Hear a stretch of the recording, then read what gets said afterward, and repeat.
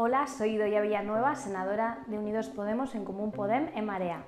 Ante una de las mayores crisis humanitarias desde la Segunda Guerra Mundial, la Unión Europea no ha estado a la altura. Según el informe de CEAR 2015, España recibió el 1% de las solicitudes de asilo de la Unión Europea. Esto supone 6.000 solicitudes, de las cuales solo 384 recibieron el estatuto de refugiado.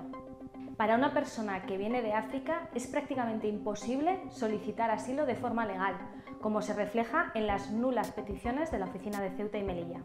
Ahora se quieren adoptar centros de detención fuera de las fronteras de la Unión Europea, un modelo que es fallido, inhumano y peligroso.